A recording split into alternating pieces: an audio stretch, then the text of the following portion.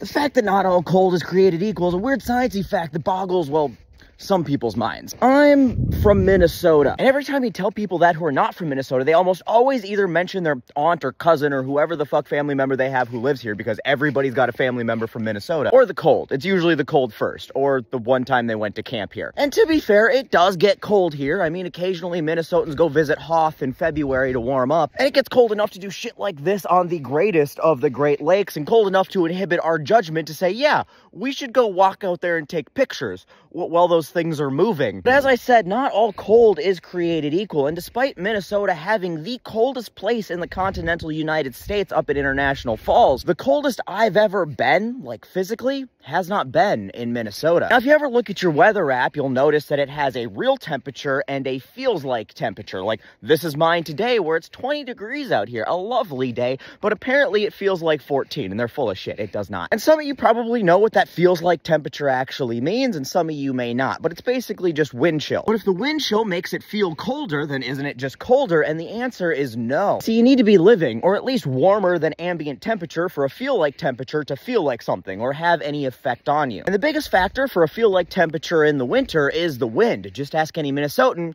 they'll tell you, oh, yeah, it wouldn't be so bad if it weren't for that gosh darn wind now, would it? See, your body needs to maintain a very specific temperature so, you know, you don't die. And it's very good at doing that. It's called homeostasis, something Republicans are trying to ban because they're only a fan of heterostasis. Basically, your body burns calories from the food you eat and creates warmth to keep you at a very specific temperature. However, it can only do that so quickly to maintain your temperature because your body has a lot of surface area that that heat can escape through. That's why when you put on clothes, it helps keep you warmer. It slows that heat escaping. But even when the temperature is far below the 98 degrees Fahrenheit that your body needs to be, like it is today at 20, your body does a really good job at producing enough heat to keep you warm. I'm not even shivering right now. So there's a certain amount of time I could be out here at this temperature dressed like this without getting hypothermia. But air moving over a surface carries heat away much quicker than ambient air. That's why in the middle of summer, when you're sweating your balls off, you go spread eagle in front of a box fan and it cools you down. It's also how the radiator in your car works and how blowing on hot food makes it scald your tongue for the next bite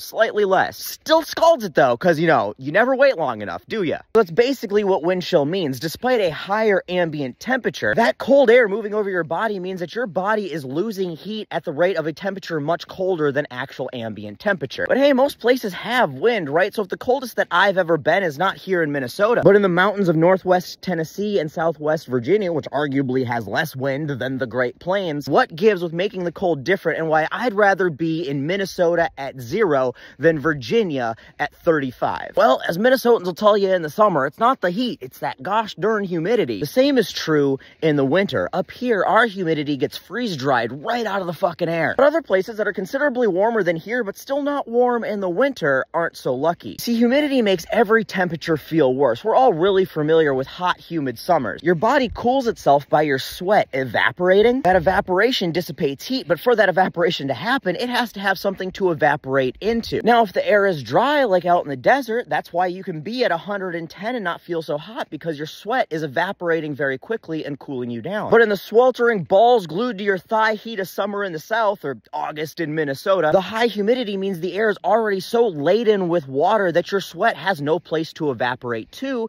and that makes you hotter. But in the winter, that humidity does the opposite. Water is an excellent conductor of heat. It's why it's used in your motor, in your car to cool it down, and it's why your body uses sweat to cool it down. But in the winter, you're not sweating and you don't want to be cooled down. But the humidity in the air doesn't fucking care that you're shaking like Pete Hegseth after three hours without a drink. So even without the wind, that moisture is doing an excellent job of transferring that heat from your body into the cold air. And while you can easily add layers and dress to keep the wind out, and you can step inside and warm up quickly when the humidity isn't very high, it's pretty hard to dress to keep wet air away from your skin. And this is why that gross, wet winter weather in parts of the south, it just feels like it chills you to your bones. And even when you go inside where it's warm, you can never quite warm up, is different and feels a hell of a lot colder than 20 degrees out here in Minnesota right now, where I'm very comfortable in just a sweatshirt. And it's why sometimes, even though it's 10 degrees when there's no wind and the sun comes out, you'll find Minnesotans doing stupid shit like thirst trap photo shoots or riding your snowmobile in a bathing suit, because, well, the winter's long, guys, and, and we got to find something to do. And the fact that the cold created in the chilliest crevices of our country can be more comfortable even without a coat than you might conject, well, that is pretty mind boggling.